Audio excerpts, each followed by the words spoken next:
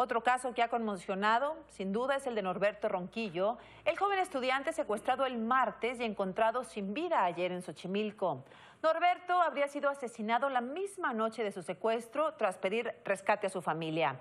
Ni el dinero entregado ni las súplicas de su madre lograron que los delincuentes lo regresaran con vida.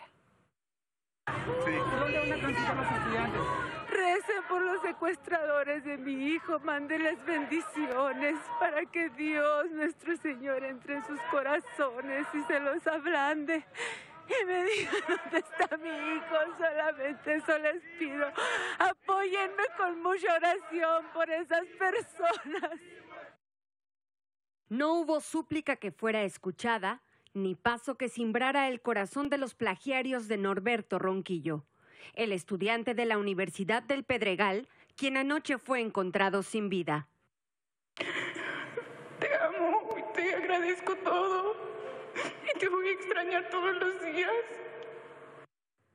En la universidad donde estudiaba se decretaron tres días de luto y se llevó a cabo una ceremonia religiosa en la que estuvieron presentes su hermano, abuela, amigos y padres de familia que a pesar de que esta ciudad cuenta con mucha gente mala,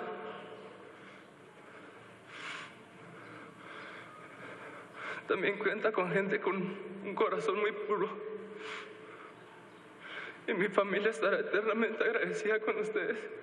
La Procuraduría de Justicia Capitalina informó que presentaba avanzado estado de descomposición, por lo que se presume habría sido asesinado el mismo día de su secuestro. El martes 4 de junio a las nueve y media de la noche salió de la universidad ubicada en la alcaldía de Tlalpan. Viajaba en su auto, un Yaris blanco desde donde envió un mensaje a su novia avisándole que iba camino a casa. Nueve minutos después comenzaron las llamadas a su familia informando que lo tenían secuestrado y exigiendo cinco millones de pesos para liberarlo. El plagiario llamó primero al tío de Norberto desde el celular del joven, pero la comunicación se cortó. En una segunda llamada, el sujeto le reclamó por colgar. La tercera llamada fue tomada por la tía de Norberto. Según el expediente de la Procuraduría, la mujer logró escuchar la voz de su sobrino pidiendo ayuda.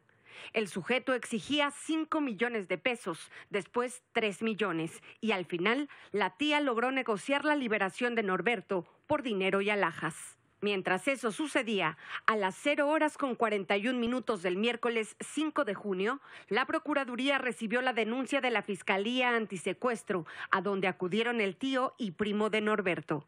14 minutos después, pidieron la no intervención de las autoridades. Aún así, a las 2.30 de la mañana, la Procuraduría inició el protocolo antisecuestro. A las 3 de la mañana, el primo de Norberto recibió una llamada del secuestrador dándole las instrucciones para entregar el rescate frente a un lavado de autos en Calzada de las Bombas en Cuapa. Le pidió estacionar su auto, bajar, cruzar la calle y lanzar la bolsa con la recompensa. Tras esto, Norberto sería liberado en Canal de Chalco. Su primo esperó hasta las 7 de la mañana, pero el joven de 22 años nunca apareció. Al manejar de regreso, encontró el auto blanco en el que Norberto desapareció. Estaba abandonado cerca de un deportivo y con las llaves en el piso. A las 10 de la mañana, Análisis de Inteligencia visitó el lugar. Sin preservar la escena, revisaron el vehículo y permitieron que se lo llevaran a casa. Ese mismo día, los familiares comparecieron ante las autoridades, quienes casi 18 horas después del plagio solicitaron la revisión de las imágenes de las cámaras. Muy lamentable que por trámites burocráticos no se haya empezado una investigación y se empezó hasta que la comunidad tuvo que salir a las calles. Para el jueves 6 ya se habían recabado los videos de la salida de Norberto de la universidad.